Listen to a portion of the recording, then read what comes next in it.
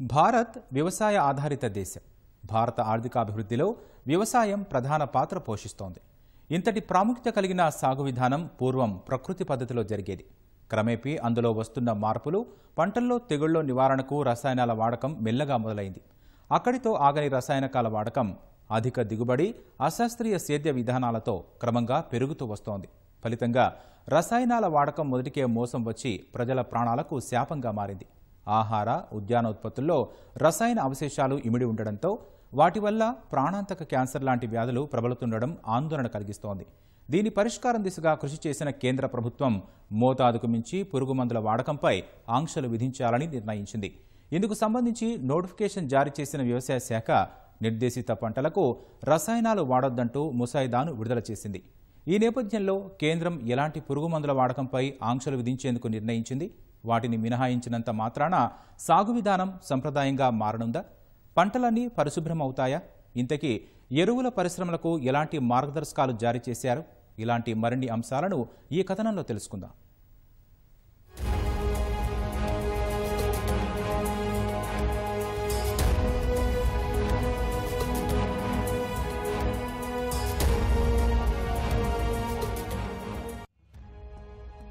ప్రస్తుత రోజుల్లో సగటు మానవుడు కడుపు నింపుకోవాలంటే తాను తినే పదార్థం సురక్షితమైందా? కాదా అని ఒకటికి పదిసార్లు ఆలోచించాల్సిన పరిస్థితులు ఉన్నాయి. దీనికి మోతాదుకు మించి రసాయనాలు పురుగుమందుల వాడకమే ప్రధాన కారణం. ఆధునిక వ్యవసాయంలో చీడపీడల నివారణలో క్రిమి సంహారక మందులు అనివార్యమయ్యాయి. అవి చీడపీడల నివారణకే కాకుండా ప్రత్యక్షంగా పరోక్షంగా పర్యావరణం మానవాళిపై తీవ్ర దుష్ప్రభావాలు కలుగజేస్తున్నాయి. ప్రస్తుతం పంటల రక్షణకు వాడుతున్న మందుల క్రమాన్ని పరిశీలిస్తే అందులో పురుగు మందులు అరవై శాతం తెగుళ్ళ మందులు పద్దెనిమిది శాతం కలుపు మందులు పదహారు శాతం జీవకీటక నాశినీలు మూడు శాతం ఇతర మందులు మరో మూడు శాతంగా ఉన్నాయి. ఇందులో పురుగు మందుల వినియోగమే అత్యధికంగా ఉంది. దేశంలో మొత్తంగా వాడే మందుల్లో యాభై శాతం పురుగు మందుల్ని ఆంధ్రప్రదేశ్ తెలంగాణ మహారాష్ట్ర పంజాబ్ రాష్ట్రాల్లోనే వినియోగిస్తున్నట్లు నివేదికలు తెలుపుతున్నాయి. ఇంతలా వినియోగంలో ఉన్న పురుగు మందులపై ఆంక్షలు విధించాలని కేంద్ర ప్రభుత్వం నిర్ణయించింది. ఇందుకు సంబంధించిన ముసాయిదా నోటిఫికేషన్ నోటిఫికేషన్ను తాజాగా కేంద్ర వ్యవసాయ మంత్రిత్వ శాఖ విడుదల చేసింది.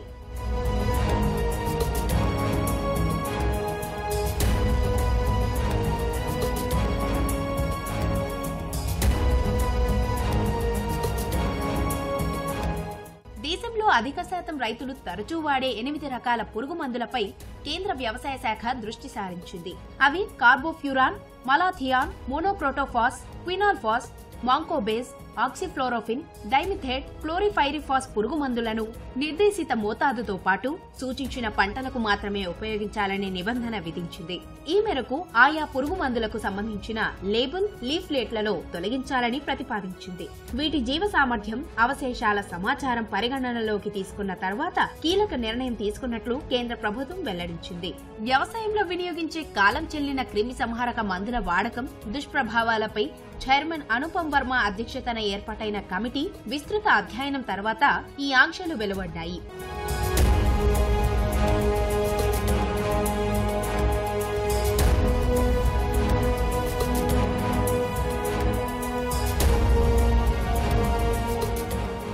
వ్యవసాయ ఉత్పత్తుల్లో క్రమంగా వృద్ధి సాధిస్తున్న భారత్ ఈ ఏడాది దేశవ్యాప్తంగా మూడు వందల ఇరవై ఐదు మెట్రిక్ టన్నుల ఆహార ధాన్యాలు మూడు వందల ముప్పై మెట్రిక్ టన్నుల కూరగాయలు పండ్లు రెండు వందల పదిహేను మిలియన్ లీటర్ల పాలు పదహారు మిలియన్ టన్నుల చేపలు నూట ఆరు బిలియన్ కోడిగుడ్లు ఉత్పత్తయ్యాయి. దేశీయ అవసరాలను తీర్చడంతో పాటు విదేశాలకు ఎగుమతి చేసే స్థాయికి భారత్ ఎదిగింది. ప్రస్తుతం ప్రపంచ దేశాలకు ఏటా దాదాపు నూట యాభై మిలియన్ యుఎస్ డాలర్ల వ్యవసాయ ఉద్యానోత్పత్తుల ఎగుమతులు అవుతున్నాయి. ఈ నేపథ్యంలో ఆహార భద్రతకు ఢోకా లేకుండా ఎనిమిది రకాల పురుగు మందుల వాడకంపై కేంద్రం ఆంక్షలకు ఉపక్రమించింది. ఇందులో కార్పోఫ్యూరాన్ పురుగు మందును మూడు శాతం పూతతో కూడిన గుళికలు మినహా మిగతా అన్ని రకాల ఫార్ములేషన్ల వినియోగం కూడా నిలిపివేయాలని ఉత్తర్వుల్లో స్పష్టం చేసింది.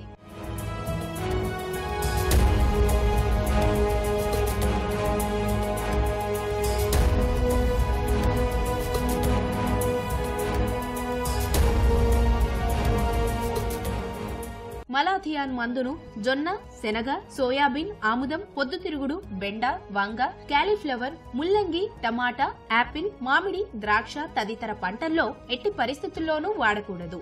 మోనోక్రోటోఫాస్ను నీటిలో కరిగిపోయే పదిహేను శాతం గుళికలు మినహా ఈ పురుగు మందుకు సంబంధించిన మిగతా అన్ని ఫార్ములేషన్ల వినియోగం ఆపేయాలి. ఫినాల్ఫాస్ మందును జనపనార యాలుకలు జొన్న పంటల సాగును వాడకూడదు. మాంకోజెబ్ పురుగు మందును జామ జొన్న కర్ర పెండలం పంటల్లో ఉపయోగించకూడదు. డైమెథేట్ ముడి ఆహారంగా తీసుకునే పండ్లు కూరగాయల సాగులో ఉపయోగించకూడదు. ఆక్సిఫోర్టోపిన్ మందును బంగాళాదుంప వేరుశెనగ పంటల సాగులో వాడకూడదు. ఇక క్లోరిపైరిఫాస్ రేగు నిమ్మ పొగాకు వంటి పంటలకు ఉపయోగించకూడదని కేంద్రం స్పష్టం చేసింది. మానవాళి తీసుకునే ఆహారం సురక్షితంగా ఉండాలన్న లక్ష్యంతో తీసుకున్న నిర్ణయాన్ని రైతులు వినియోగదారులు సైతం స్వాగతిస్తున్నారు. ఇది ఓ సానుకూల పరిణామమని శాస్త్రవేత్తలు అంటున్నారు.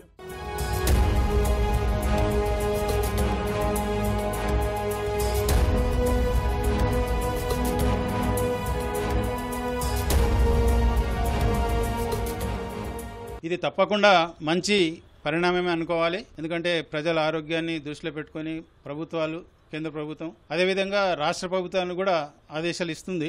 తప్పకుండా మన ఇంప్లిమెంట్ ఏజెన్సీ అనేది త్రూ అగ్రికల్చర్ డిపార్ట్మెంట్ యొక్క వ్యవసాయ అధికారుల ద్వారానే దీన్ని మనం క్షుణ్ణంగా పరిశీలించాల్సినటువంటి అవసరం ఉంది కాబట్టి వాళ్ళు ప్రతిసారి ప్రతి కంపెనీ యొక్క మ్యానుఫ్యాక్చరింగ్ యూనిట్స్ని కూడా వీళ్ళు తనిఖీ చేయాలి. బయటికి ఉత్పత్తులు ఏదైతే వచ్చినాయి ఉంటాయో దాన్ని కూడా మనం ఈ కేంద్ర ప్రభుత్వం ఆదేశాలు ఇచ్చిన దాని ప్రకారంగా కొన్ని ప్రదేశాలు దాన్ని సీజ్ చేయడమా లేకపోతే వాడకుండా ఉండడానికి మరి ప్రభుత్వం ఆదేశాలు ఇచ్చినటువంటి దాన్ని అమలు చేయడానికి ప్రత్యేకంగా శ్రద్ధ వహించి డిపార్ట్మెంట్ అంటే అగ్రికల్చర్ డిపార్ట్మెంట్ రాష్ట్ర ప్రభుత్వం ఏదైతే చొరవ తీసుకొని ఇవన్నీ కూడా ఉత్పత్తి చేసినటువంటి ఈ ప్రకటించినటువంటి కెమికల్స్ అన్నిటిని కూడా బ్యాన్ చేసినటువంటి కెమికల్స్ అన్నిటిని కూడా తనిఖీ చేసి దాన్ని ఎప్పటికప్పుడు సీజ్ చేసి వాడకుండా ఉండడానికి ప్రయత్నం చేయాలి. ఆంక్షలు విధించిన పురుగుమందుల తయారీదారులు ఆయా పంటల వివరాలను లేబుల్ నుంచి తొలగించాలని కోరుతూ central insecticide board and registration committee కార్యదర్శికి ఆరు నెలల్లో దరఖాస్తు చేసుకోవాలని తెలిపింది. లేని పక్షంలో లైసెన్స్ రద్దు చేస్తామని హెచ్చరించింది. కొత్త సర్టిఫికేట్ ఆఫ్ రిజిస్ట్రేషన్ను నిర్దిష్ట గడువులోగా సంబంధిత శాఖకు సమర్పించకపోతే దాన్ని రద్దు చేసినట్లుగా భావించాల్సి ఉంటుందని స్పష్టం చేసింది. ఈ ఉత్తర్వులకు లోబడి రాష్ట్ర ప్రభుత్వాలు తగిన చర్యలు తీసుకోవాలని కేంద్రం సూచించింది. అలాగే డైకోఫోల్ డైనోక్యాప్ మిథోమిల్ పురుగు మందులను దేశంలో నిషేధించాలని నిర్ణయించినట్లు వెల్లడించింది. వీటి రిజిస్ట్రేషన్ దిగుమతి తయారీ ఫార్ములేషన్ రవాణా అమ్మకాలన్నింటినీ తుది నోటిఫికేషన్ వెలువరించిన నాటి నుంచి నిలిపివేయనున్నట్లు పేర్కొంది. ఇదిలా ఉంటే రసాయనాలు పెరుగుతున్న కొద్దీ పంటల్లోని పురుగుల సంఖ్య పెరుగుతుంది. ఆ గణాంకాలను పరిశీలిస్తే వరిలో నష్టం చేసే పురుగులు పంతొమ్మిది వందల నలభైలో పది రకాలు ఉంటే ప్రస్తుతం పదిహేడు రకాల పురుగులు నష్టం కలుగజేస్తున్నాయని పరిశోధనల్లో వెల్లడైంది. గోధుమను నష్టం చేసేలా రెండు రకాల పురుగులే ఉంటే ఇప్పుడవి పంతొమ్మిది రకాలకు పెరిగాయి. దీంతో పాటు పెస్టిసైడ్స్ ఇన్సెక్టిసైడ్స్ను అశాస్త్రీయంగా వాడటం వల్ల నేలలో ఉండే సూక్ష్మ పోషకాలు నశించిపోతున్నాయి. ఉదాహరణకు టమాటా మిరప క్యాలీఫ్లవర్ ద్రాక్ష కూరగాయలు ఆకుకూరల్లో విపరీతమైన రసాయన క్రిమి సంహారక అవశేషాలు ప్రాణాంతక రోగాలకు కారణమవుతున్నాయనే ఆందోళన వ్యక్తమవుతోంది. గతంలో ఇరవై ఏడు రకాల పురుగు మందులు నిషేధించిన కేంద్రం తాజాగా ఎనిమిది రకాల వాడకంపై ఆంక్షలు విధించడం శుభ పరిణామం అని వ్యవసాయ నిపుణులు అభిప్రాయపడుతున్నారు.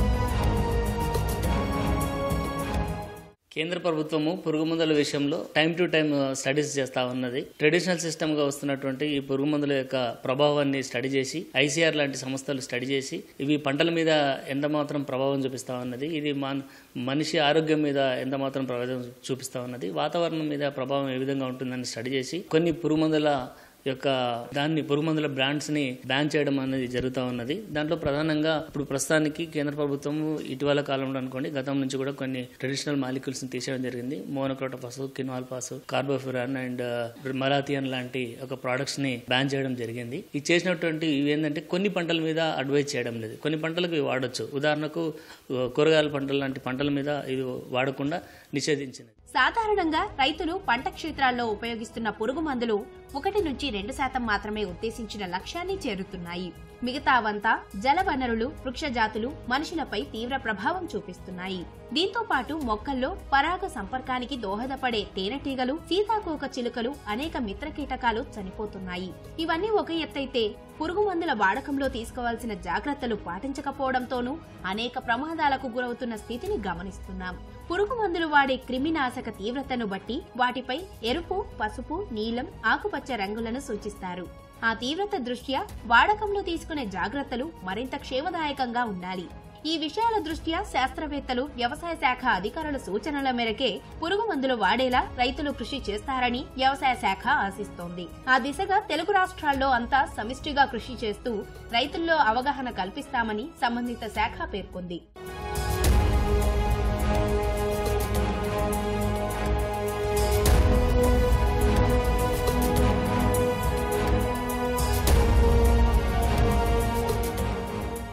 కొన్ని పెస్టిసైడ్స్ ఇన్సెక్టిసైడ్స్ మన గవర్నమెంట్ ఆఫ్ ఇండియా తరపున ministry of agriculture and farmers welfare కొన్ని కెమికల్స్ని ఈ రిజిస్ట్రేషన్ కమిటీ అనేది ఉంటుంది. ఆ రిజిస్ట్రేషన్ కమిటీకి రాసింది ఈ కెమికల్స్ కొన్ని పంటలకి ఉపయోగించకూడదు అనేది ఒక ముసాయిదా అనేది స్టేట్ గవర్నమెంట్స్కి పంపించడం జరిగింది. ఆ అంటే అన్ని పంటలకి తీసేయమని కాదు. ఎందుకు ఈ కొన్ని పంటల్లో తీసేయమని ఇచ్చారు అని అంటే ఈ గవర్నమెంట్ వాటిల్లో ఈ రెసిడ్యూస్ ఎక్కువ కాలం ఉంటున్నాయని. తర్వాత ఈ మనము కావాల్సిన పంటకే కాకుండా చుట్టుపక్కల ఉన్న మొక్కలకి కానీ మన బయోడైవర్సిటీకి కానీ లేకపోతే ఉపయోగపడే ఇన్సెక్టిసైడ్ ఇన్సెక్ట్స్ కానీ లేకపోతే ఏమన్నా హ్యూమన్ బీయింగ్స్కి ఇవన్నిటికీ చాలా ప్రమాదకరమైన ఉద్దేశంతో ఈ కొన్ని కెమికల్స్ ముఖ్యంగా కార్బోఫ్యూరాన్ మలాతియాను అండ్ మోనోక్రోటోప్రాస్ ఈ కెమికల్స్ అన్ని ఇంకా కొన్ని కెమికల్స్ ఉన్నాయి. వీటిని తీసి పక్కన పెట్టాలి అనేది రెగ్యులేషన్ వీటిల్లో రిజిస్ట్రేషన్ నుంచి తీసేయాలనే ఉద్దేశంతో మన స్టేట్ గవర్నమెంట్స్కు ఆ ముసాయిదా లిఖిత పత్రంలో వాళ్ళు పొందుపరచడం జరిగింది.